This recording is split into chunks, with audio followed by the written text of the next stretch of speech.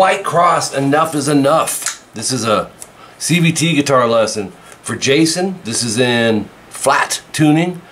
And uh, Rexosaurus, man, what can I say? I remember back in the in the 80s, you know, I was listening to Vai and Dweezil Zappa and Satch and Matthias and Oz and Rex. Always liked his playing, man.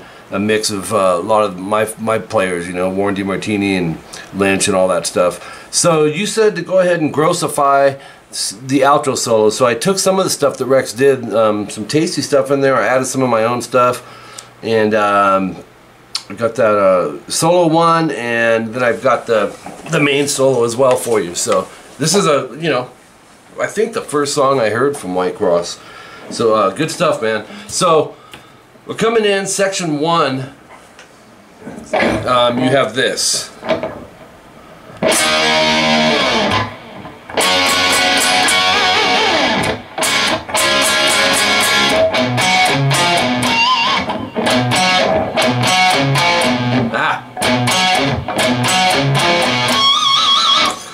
Very catchy. It's groove. It's in the pocket, and um, it's a E major. You're going 7A, 9th fret.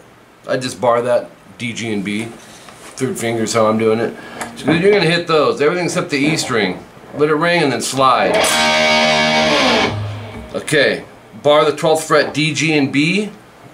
You're gonna strum those th uh, two times, and then add the middle to third or 13B. Do that two times. And then 12th fret G and B vibrato. Hold on. Yeah, we're good.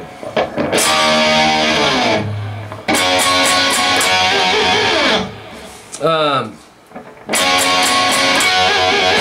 then you're gonna go barred 7th fret D, G, and B, but we're gonna um, start off, add the middle finger to 8 on the B as well. We're gonna strum those, quick rest, lift the middle finger off, so that's just our uh, D major triad there. Two times, so it's 777. Hey! 777, yeah. You'll go. So we have. And then twice on the sevens, twice with the middle finger back down on the eights. And then 7 GB rest. So we have.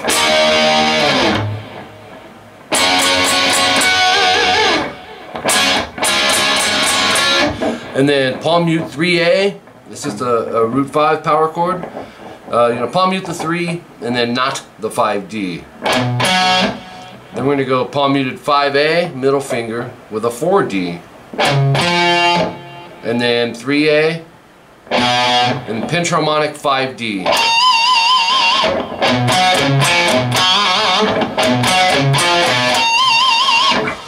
You'll see double dots, um, so you're going to go back through. Um, there's a little little difference here in the middle, so you're back to.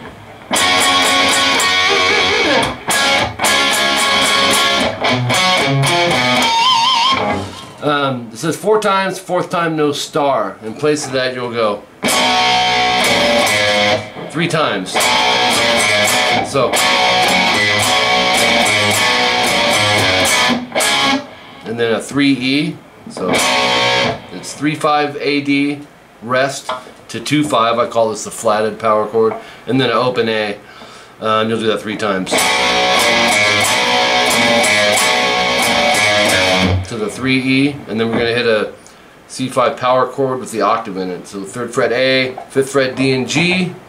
And then move it up a whole step sharp to a D major 577. So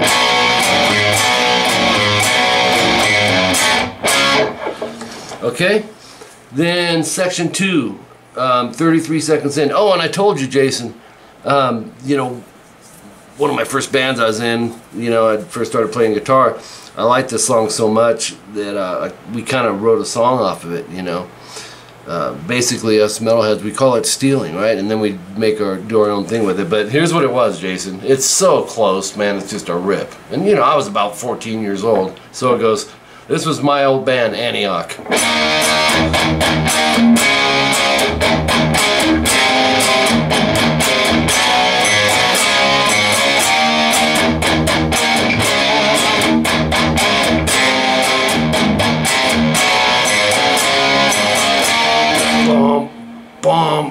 Anyways, it just took me back. And it's funny because we did the Stryper CVT the other day, um, From Wrong to Right. That was one of my first Stryper songs I heard.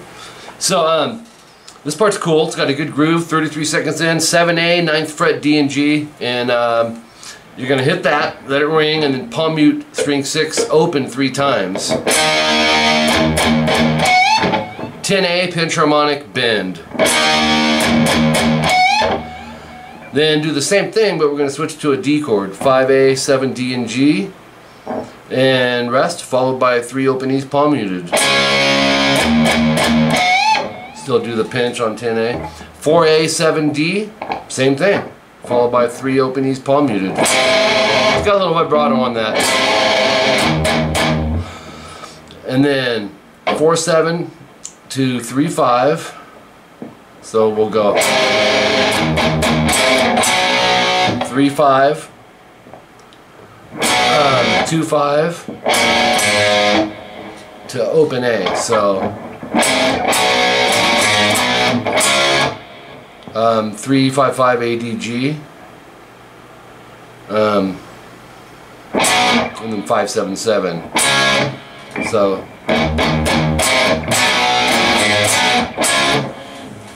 Okay, double dots there, so two times, second time no star. That's the C and the D that I just played.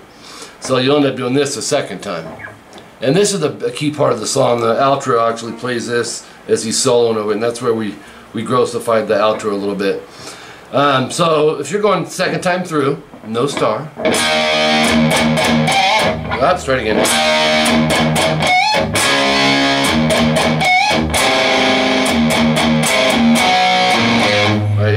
You'll end up going.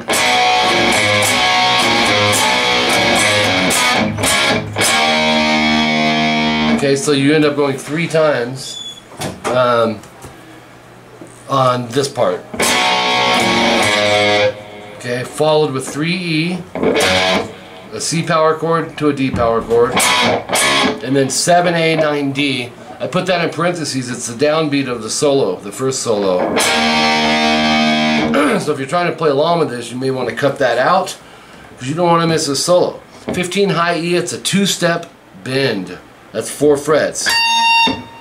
Okay, so you're bending a G to a B. I don't want to bust a string, but you're going up to... And then um, 15 vibrato. Then we're going to go...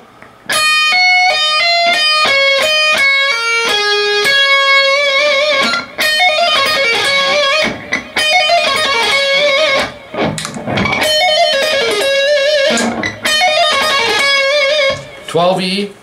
oh, I'm sorry, dude. No, that's right. It's on the high E. I was saying, I thought I said B. 12, hammer 15, pull 12, hammer 14, pull 12. So that's a good subgroup, right? Just to work on for a linear thing. 15, 12, BE down up, that can be a good subgroup. Kind of like the Dave Murray thing, right? 15, pull 12 on the B, and then play all that. Or you can split it, make it two riffs. And then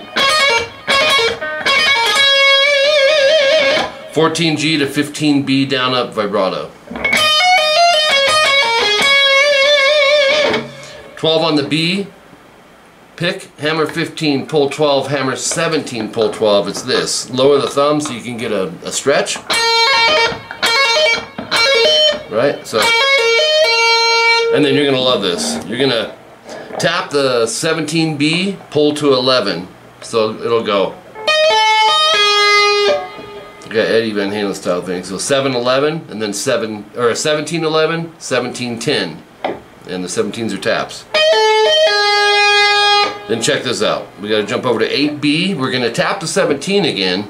And you know, use the the meat, the flesh of your palm up here to to deaden the other strings. So um, we have and then you're going to tap the 17, pull off to 8, hammer 10, 12. So it's and then tap 14. So it's pull that off to 12, tap 15, pull that off to 12. Or wait a minute, hold on, hold on, hold on. So we have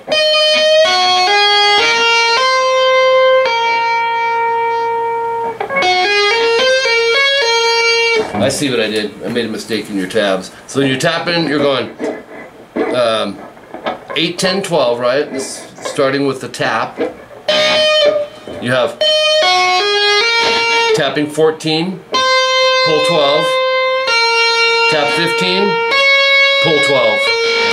I'd put a, um, a 14 instead of a 12. So that's a 12. The very last notation on the bottom of page 2 in your tabs.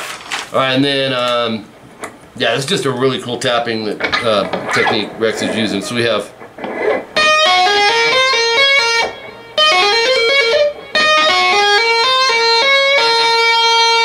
and then pull 12, 10, 8.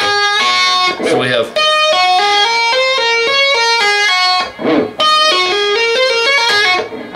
so we have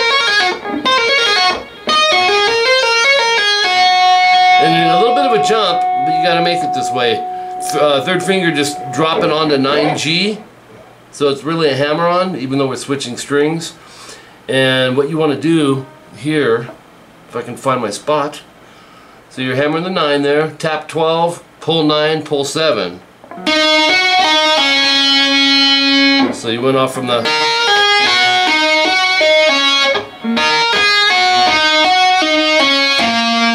And then hammer 9D out of nowhere. And then tap 12, pull 10, or pull 9, 7, slide to 5. So it's...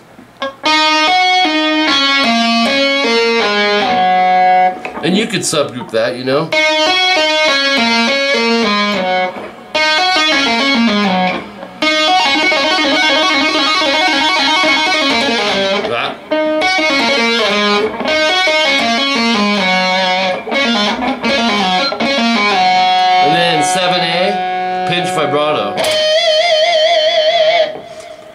Oh, my bad. Hold on. Wrong.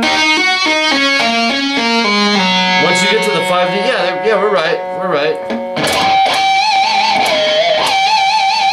That's also on the downbeat, Jason, so, um, because you're going to cut back in, go into section 1. So back into...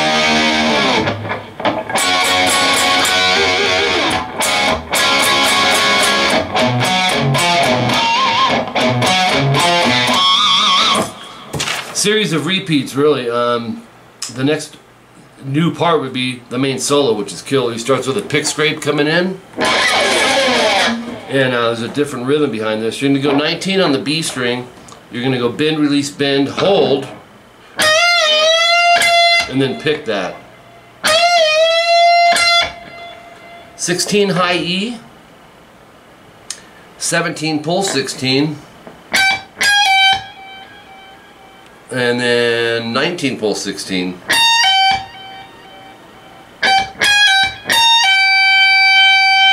17 pull 16 so it's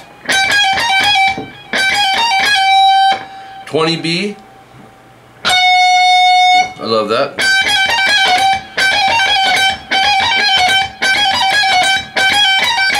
Dang it. Okay after that up on 16E and then 21 with the pinky. So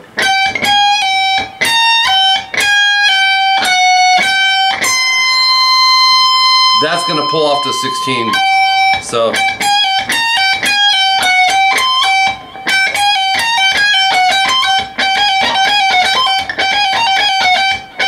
you may want to let go third finger there because we need the pinky up here, right? So.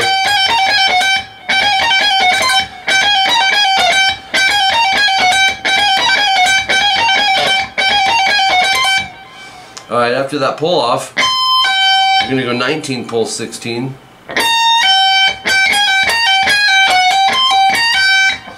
And then um, 19 on the B, 16 on the E, down up, 19B, bend, hold, release,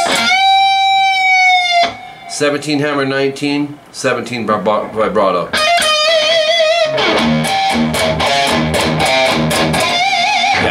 Complete rhythm, different rhythm behind that. Two minutes, 10 seconds in, we're gonna go 15 on the B, Um, pick hammer 17, pull 15, slide 14. 15, pull 14, slide 12. So.